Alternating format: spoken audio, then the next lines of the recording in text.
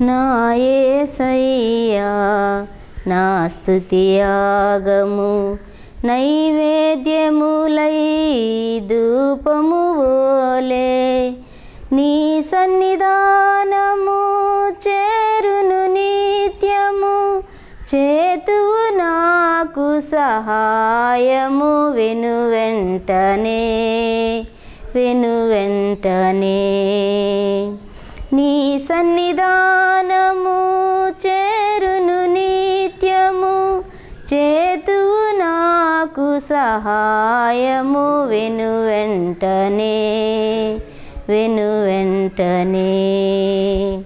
ఆత్మతోను మనస్సుతోను నేను చేయు విన్నపములు ఆత్మతోను మనస్సుతోను నేను చేయు విన్నపములు ఆలకించి తండ్రి సన్నిధిలో నాకై విజ్ఞాపన చేయుచున్నావా?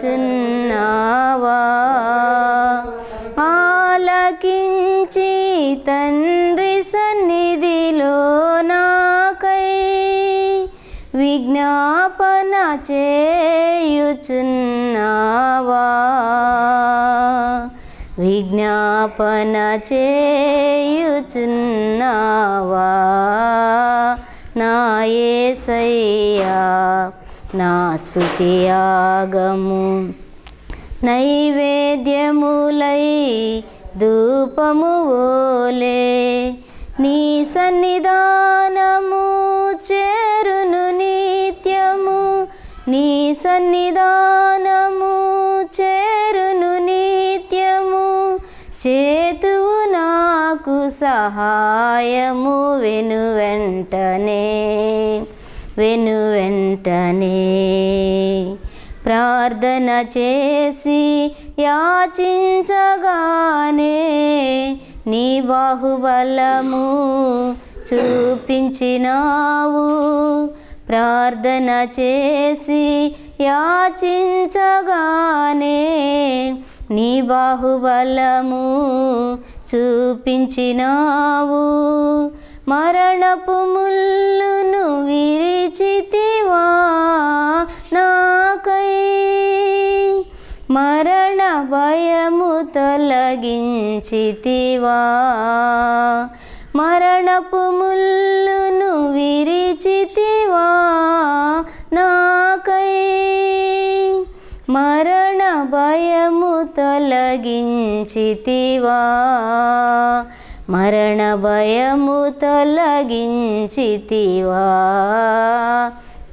నా యేసయ్యా నా స్థుతియాగము నైవేద్యములై ధూపము ఓలే. నీ సన్నిధానము చేరును నిత్యము నీ సన్నిధానము చేరును నిత్యము.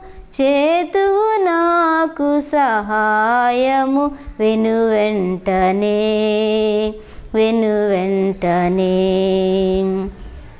మెలుకువ కలిగి ప్రార్థన చేసిన శోధనలన్నీయు తప్పించెదవు.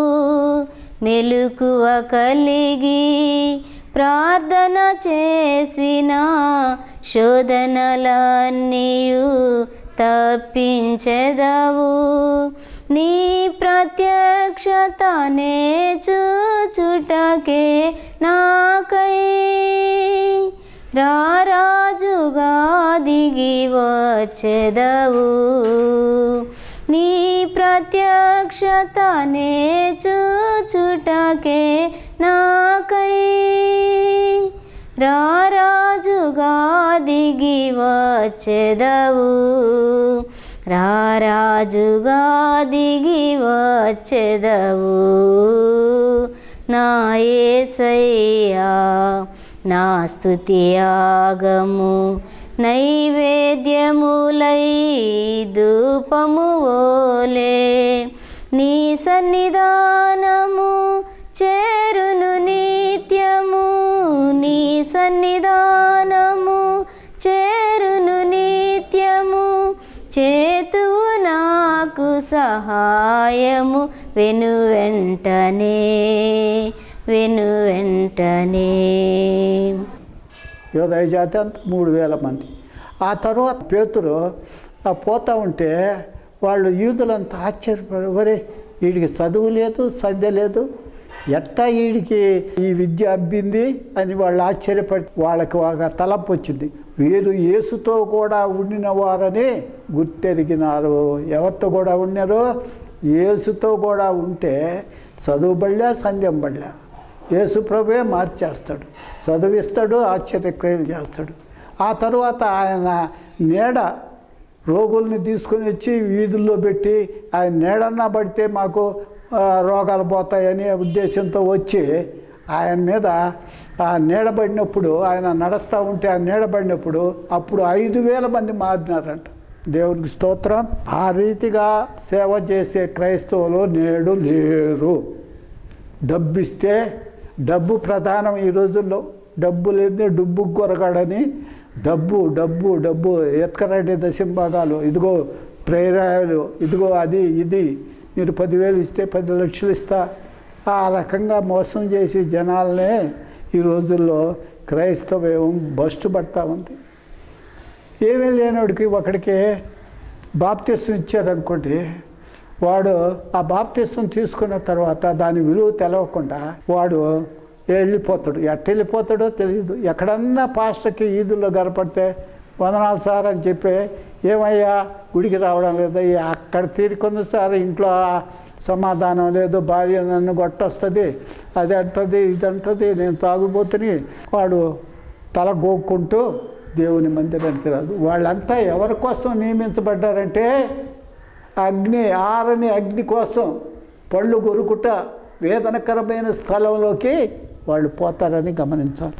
యేసు ప్రభు ఏం చేసినాడంటే యశా గ్రంథంలో ఆయన చేతికి ఇచ్చినప్పుడు ఆయన ఏం చేశాడంటే ప్రభు ఆత్మ నా మీద ఉన్నది. బీదలకు సువార్త ప్రకటించుటక ఆయన నన్ను అభిషేకించను. ఎవరు అభిషేకించింది? తండ్రి. తండ్రి అభిషేకించి ఆయనకి భూమి మీద పంపాడు. ఆయన ఏం పని చేయాలంటే చెరలోనున్న వారికి విడుదలను గుడ్డి వారికి చూపును కలుగునని ప్రకటించుటకును నలిగిన వారిని విడిపించుటకును ప్రభు ఈత సంవత్సరం ప్రకటించుట ఆయన నన్ను పంపి ఉన్నాడు. యశ అరవై ఒకటి రెండు వాక్యాలు చదువు?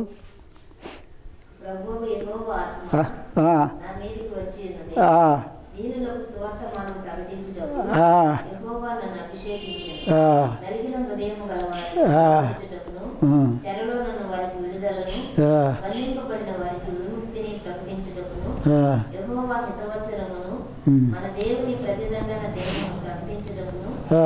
దుఃఖాక్రాంతులందరినీ ఓదార్చుటకును ఆ, సియోనులో దుఃఖించు వారికి ఉల్లాస వస్త్రములు ధరింపజేయుటకును ఆ, ఇదిగో పూదండను ఆ. దుఃఖములకు ప్రతిగా ఆనంద తైలమును ఉమ్, భారభరితమైన ఆత్మకు ప్రతిగా స్థుతి వస్త్రమును ఆ. వారికి ఇచ్చుటకును ఆయన నన్ను పంపి ఉన్నాడు ఆ, కాబట్టి ఆయన ఈ లోకానికి ఎందుకు వచ్చినాడంటే బీదలకు సువార్త ప్రకటించడానికి. ఆయన ఎప్పుడు ధనవంతులు ఇళ్ళకి పోయి సువార్త ప్రకటించాల. బీదల కోసమే ఆయన వచ్చినాడు బీదలనే రక్షించినాడు బీదలకు ఆహారం ఇచ్చాడు.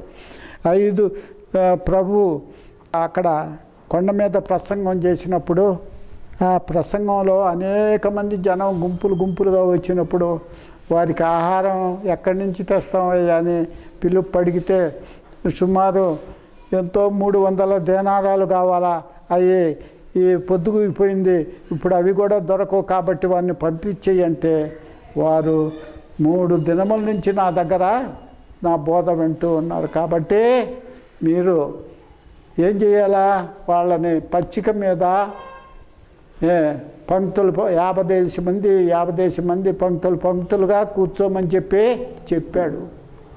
అదేవిధంగా చర్చిల్లో కూడా ఎట్టంటే అట్ట కూర్చోవడానికి వీలు లేదు.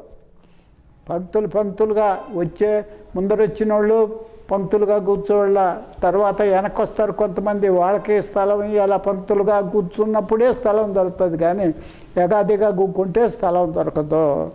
కాబట్టి యాభై మంది చొప్పున ఆయన కూర్చొని పెట్టి ఎంతమంది స్త్రీలు పిల్లలు కాక ఐదు వేల మందికి ఆ రొట్టెలను పంచాడమ్మా.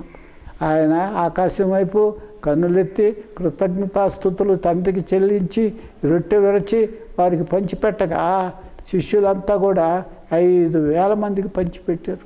స్త్రీలు పిల్లలు కలిపితే ఇంకొక పదివేలు ఇరవై వేలు అయ్యి ఉంటుంది. ఆయన వాళ్ళందరూ సంతృప్తిగా తినగా అని దేవుని వాక్యంలో ఉంది. సంతృప్తిగా తినగా ఎన్ని వేల మంది? పన్నెండు గంపలు ఎత్తి పన్నెండు గంపలకు ఎత్తినారు మిగిలిన ముక్కలు అన్నిటిని. అటువంటి ఆశ్చర్య కార్యాలు చేసేవాడు యేసు ప్రభు. ఆయన మనల్ని రక్షించడానికి వచ్చినటువంటి వాడు.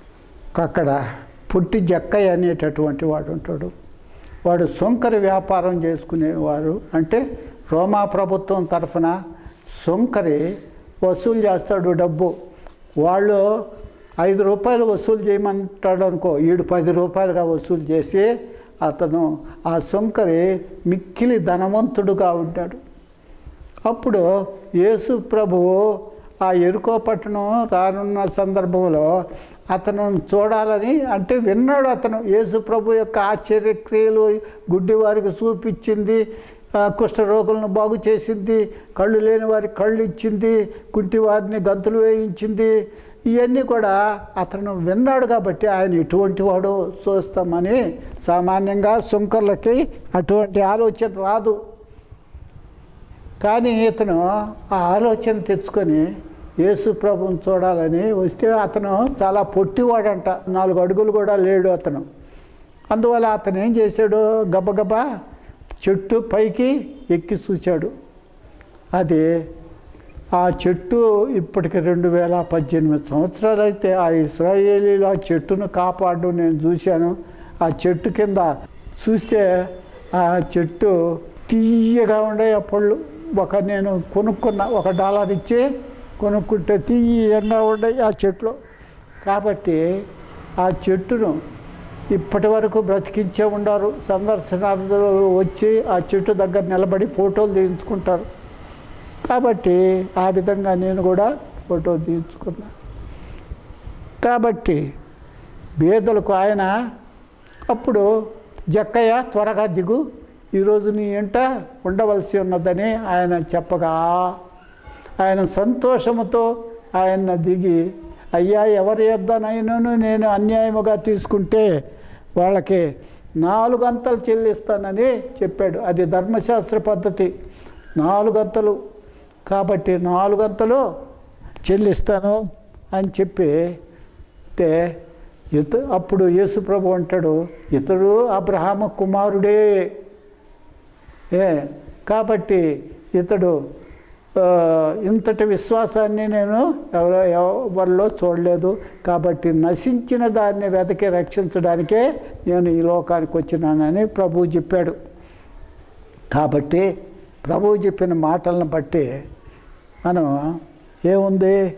ఎవరైతే ఆయన ఆశతో అపేక్షతో తమ హృదయాల్లోనికి స్వీకరిస్తారో వారు పరిశుద్ధులుగా నీతిమంతులుగా కనికరం కలిగిన బిడ్డలుగా ఉంటారు అనేటటువంటి విషయం మనకు తెలుస్తూ ఉంటున్నది.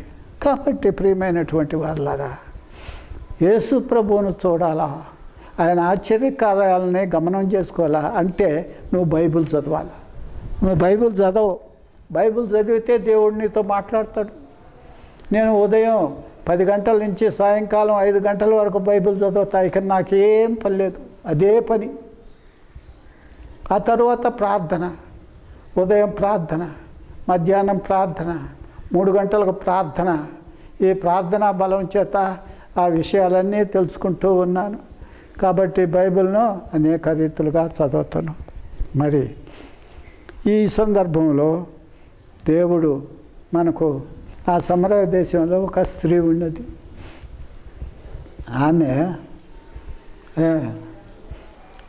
ఉన్నప్పుడు యేసు ప్రభు మధ్యాహ్నం పన్నెండు గంటలప్పుడు ఆయన ఎర్రటి బండ మీద కూర్చున్నాడు.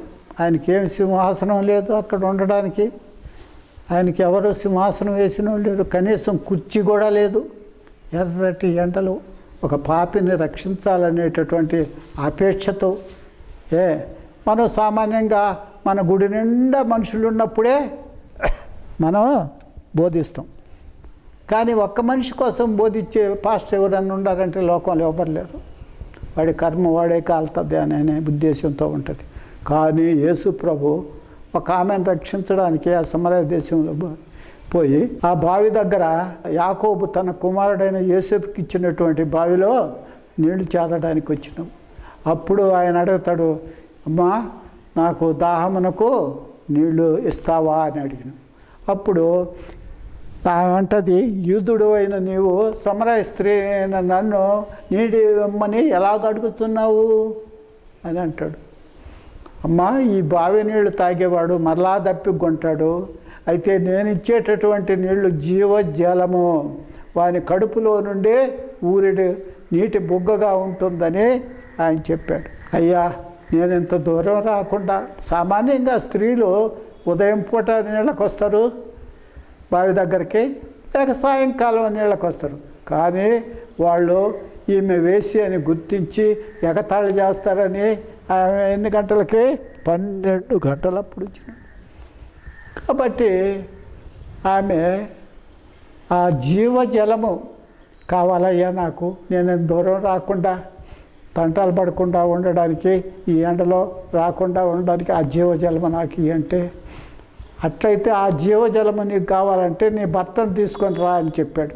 నాకు భర్త లేడయ్యా అని అబద్ధం చెప్పింది. అప్పుడు ప్రభు హృదయాంతర మనుషుల హృదయాంతరంగాన్ని పరిశీలించేటటువంటి వాడు. మనుషులు పై రూపాన్ని లక్ష్య పెడతారు. అబ్బా పొడుగ్గా ఉండడు ఎత్తుగా ఉండడు ఎర్రగా ఉండడు ఈ పిల్లవాడైతే మా అమ్మాయి సరిపోతుంది అని పై రూపాన్ని మాత్రం లక్ష్య పెడతాడు. అయితే దేవుడు హృదయాంతరంగములను పరిశీలించేటటువంటి దేవుడు. మనం పాప లేకుంటే పరిశుద్ధుడుగా ఉన్నామని పరిశీలన చేసేటటువంటి దేవుడు. కాబట్టి ఆయన నాకు భర్త లేడని ఆమె ఎప్పుడైతే చెప్పింది నీకు ఐదుగురు భర్త భర్తలు ఉన్నారు ఎంతమంది? ఐదుగురు భర్తలు ఉన్నాడు ఇప్పుడున్నవాడు నీ భర్త కాడు అని చెప్పే తలకే ఒరే ఒరే ఒరే నా గుట్టంతా ఎనిగి తెలిసిపోయిందే. అప్పుడు దిగొచ్చింది. అయ్యా అంటది. అయ్యా అని చెప్పినప్పుడు అయ్యా నేను నిజమే భర్త లేని వ్యభిచారంలో జీవించేదాన్ని కాబట్టి మాకొక ఉన్నది ఏమంటే మెస్సియా వస్తాడు ఆయన చెప్తాడు అప్పుడు ఈ గిరిజం కొండ మీద కానీ ఇదిగో ఎరుసలేం పట్టణం మీద కొండ మీద కానీ తండ్రిని ఆరాధిస్తారు అని అంటే అమ్మా ఒక కాలం వస్తున్నది అప్పుడు దేవుని ఆరాధించేవారు ఆత్మతోనూ సత్యంతోనూ ఆరాధించే సమయం వచ్చి ఉన్నది. అయ్యా మాకు మెస్సియా వస్తాడని అప్పుడు సమస్తం బయలుపరుస్తాడని ఆ స్త్రీ అనగా నేనే నీతో మాట్లాడుతున్నటువంటి నేనే లోకరక్షకుడిని అని చెప్పినప్పుడు ఆమె వెంటనే యేసు ప్రభు యొక్క శక్తి సామర్థ్యాలని గ్రహించి మానవుల యొక్క హృదయంలో ఉండేది ఏదో వాళ్ళు తెలుసుకొని వెంటనే ఆమె ఆ కొండ అక్కడనే విడిచిపెట్టేసింది. మనదే మట్టి ఘటము ఎక్కడ రాలిపోతుందో ఏ యాక్సిడెంట్లో జరిగి చనిపోతామో ఏ కారు డ్రైవింగ్లో చనిపోతామో మనకు తెలియదు. కాబట్టి ఆమె ఆ ఘట్టము దేవుని వాక్యం ఏం చెప్తుందంటే మీరు అన్ని జనుల వలె కామాభిలాష ఎందుగాక పవిత్రత ఎందును పరిశుద్ధత ఎందును మీ ఘటమును ఎట్లు కాపాడుకోవలనో అది ఏ దేవుని చిత్తమో. ఈ ఘటం అంటే కుండ. ఈ కుండ ఎక్కడ అయినా పగిలిపోతుంది. ఘటం కుండతో పోల్చారు. కుమ్మరివాడు కుండలు చేసేది. ఏ ఆకారం కావాలంటే ఆకారంలో చేస్తాడు. అదేవిధంగా ఆమె ఆ కొండను అక్కడనే విడిచి వెళ్ళి ఊరి వారితో చెప్పినారు. నేను చేసినవన్నీ నాతో చెప్పినటువంటి లోకరక్షకుడైన యేసు ప్రభువుని నేను కనులార నా పాపం అంతా చెప్పాడు. మీరు కూడా రండి చూద్దురని చెప్పి ఆ ఊరి గ్రామ గ్రామంలో ఉండేటటువంటి వారందరినీ తీసుకొని వచ్చి ఆయన చూశారు. చూసి ఆ వాళ్ళు ఆయన బోధలు విన్నారు. సువార్త చెప్పాడు వాళ్ళకి. సువార్త చెప్పినప్పుడు అనేక మంది ఆయన్ని ప్రభువుగా యేసు ప్రభువుగా ఒప్పుకున్నారు. అప్పుడు అంటారు వాళ్ళు ఇక మీదట నువ్వు చెప్పిన వార్తను బట్టి కాక మమ్మల్ని మేమే యేసు ప్రభువుని రక్షకుడుగా తెలుసుకున్నాము అని చెప్పారు. ఒక స్త్రీ వల్ల ఆ ఊరంతా కూడా రక్షించబడినట్లుగా మనం చూస్తూ ఉంటాం. అందువల్ల సువార్త యేసు ప్రభు ఏం చెప్పాడంటే మార్కు సువార్త పదహారు పదిహేను వాక్యం. మరియు మీరు సర్వలోకమునకు వెళ్ళి సర్వ సృష్టికి సువార్తను ప్రకటించుడి. నమ్మి బాప్తీసం పొందినవాడు రక్షించబడను. నమ్మని వానికి శిక్ష విధించబడును. నమ్మిన వాని వల్ల ఏ అనేక అద్భుతాలు నా నామమున యేసుప్రభు నామమున దయ్యాలను వెళ్ళగొడతారు కొత్త భాషలు మాట్లాడతారు పాములను ఎత్తి పట్టుకుంటారు. అది వారికి హాని చేయదు. రోగుల మీద చేతులు ఉంచినప్పుడు వారు స్వస్థత నొందిరి కాబట్టి అవన్నీ కూడా ఏ శిష్యులు చేశారు. ఆయన ఇచ్చినటువంటి అధికారమును బట్టి అదేవిధంగా మత్త సువార్త ఇరవై ఎనిమిది పదహారు. పదనొకొండ మంది శిష్యులు యేసు తమకు నిర్ణయించిన గల్లేలోనికి కొండకు వెళ్ళిరి. వాళ్ళు ఆయన్ను చూసి ఆయనకు మొక్కిరి కానీ కొందరు సందేహించారు. అయితే యేసు వారి యొద్దకు వచ్చి పరలోకమందను భూమి మీదను నాకు సర్వాధికారం ఇయ్యబడి ఉన్నది కాబట్టి మీరు వెళ్ళి సమస్త జనులను శిష్యులుగా చేయుడే.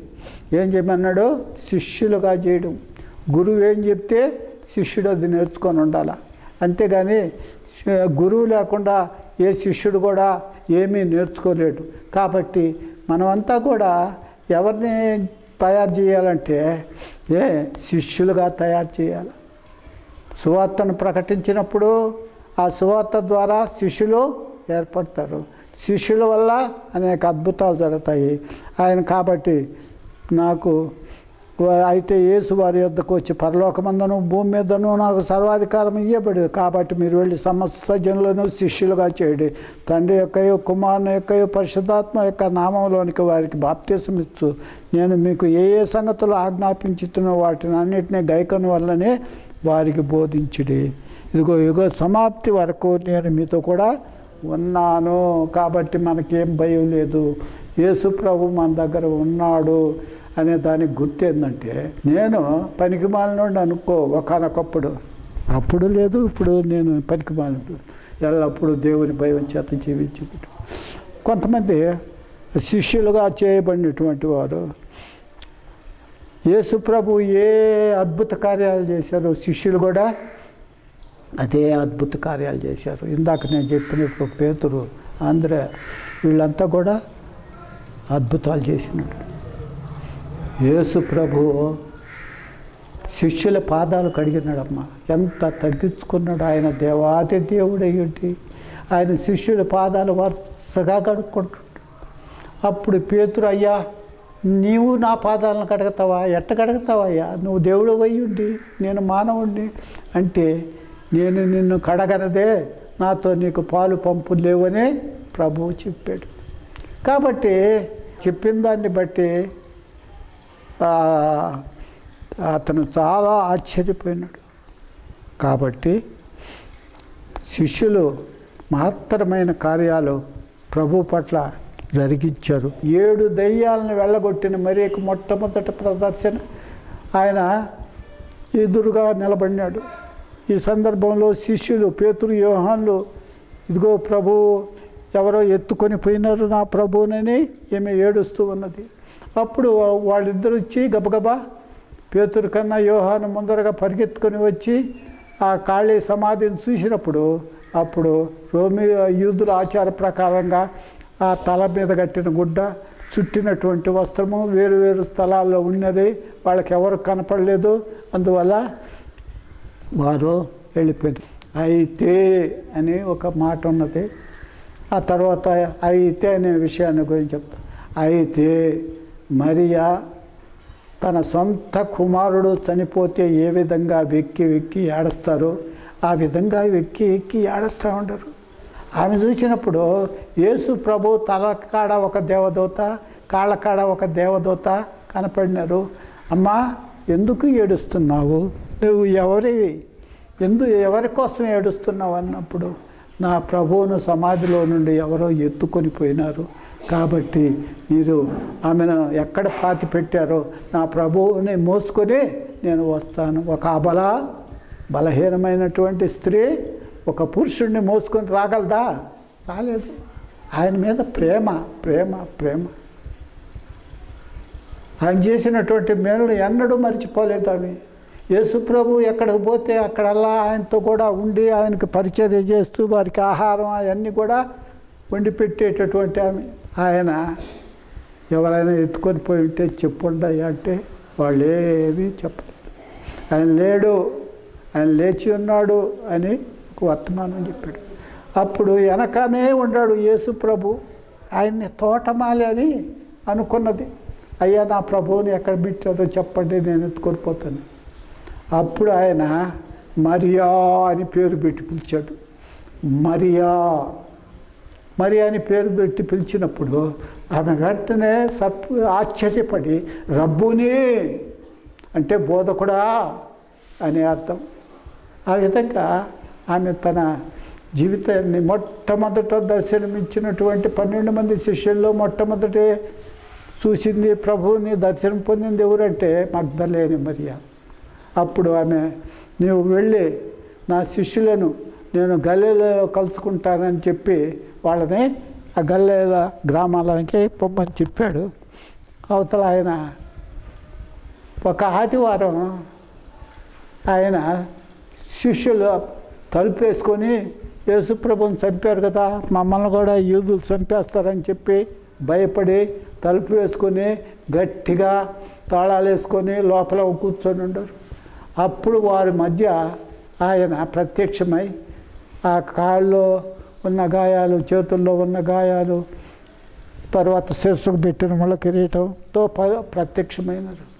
వాళ్ళు పెద్ద భూతం అనుకొని భయపడ్డారు.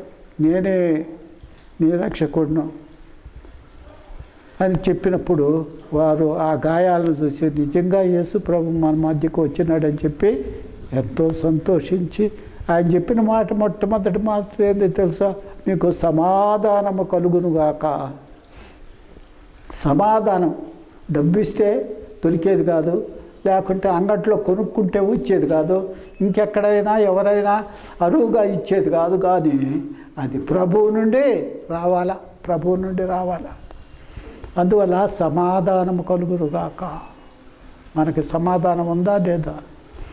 మనం మనం విమర్శించుకుంటే తెలిసిపోతుంది. అదేవిధంగా అప్పుడు తోమాలేడు వాళ్ళు శిష్యులు చెప్పారు అయ్యా యేసుప్రభు మన మధ్యకి వచ్చి మేము కళ్ళారా చూసినాం. యేసుప్రభు యొక్క గాయాలను బట్టి వాటిని బట్టి ప్రభు అని నమ్మినాము అంటే తోమ ఏమన్నాడంటే ఆ తోమ నేను ఆయన చేతుల్లో మేకుల్లో పక్కలో బల్లెపోటు పొడిచోళ్ళ ఒకడొచ్చి చచ్చాడా లేదని చెప్పి బల్లెపోటు పొడిస్తే అంతకు ముందే ఆయన మరణించినాడని తెలుసుకున్నాడు. కాబట్టి ఆయన ఎముకలు విరవలేదు. అందరు దొంగలు ఎముకలు ఇద్దరు దొంగలు ఎడపక్క కుడిపక్క ఉండే దొంగలు ఇద్దరు ఆయన వారి ఎముకలు ఇరిగేటట్టు కాళ్ళు ఇరిగేటట్టు మోకాళ్ళు ఇరిగిపోయేటట్టు వాళ్ళు కర్రలతో కొట్టారు. కానీ అందుట్లో కుడి పక్కన ఉన్న దొంగ ఏమంటే ఈ దొంగలు ఇద్దరు. ఆయన్ని నిందించారు. నువ్వు దేవుని కుమారుడు అయితే క్రిందికి దిగు మేము చూస్తామని ఇద్దరు దించు కుడివైపున ఉన్న దొంగ అయ్యా నీవు నీ రాజ్యంలోనికి వచ్చినప్పుడు నన్ను జ్ఞాపకం చేసుకునమని అతను పశ్చాత్తాపడి ఈయన నిరపరాధి అని చెప్పి ఆయన ఏం చేసినాడంటే అన్నప్పుడు యేసు ప్రభు నిశ్చయముగా నీవు నేడు నాతో కూడా పరదయసులో ఉందువు. ఒక్క నిమిషంలో చేరిపోయినాడండి పరదేశంలోకి అతనే బాప్తిస్తం తీసుకోలేదు అతనే దేవుని వాక్యం చదవలేదు ఇంకే విధమైన సమయం అతనికి లేదు. శిలువలో మరణిస్తూ ఉన్నాడు కాబట్టి అతను యేసు ప్రభుతో కూడా ఆయన్ని సిలువ వేసినప్పుడు వాళ్ళు మాత్రం వాడు అదృష్టం చేసుకున్నటువంటి దొంగ అందువల్ల ఆ విధంగా అయినాడు.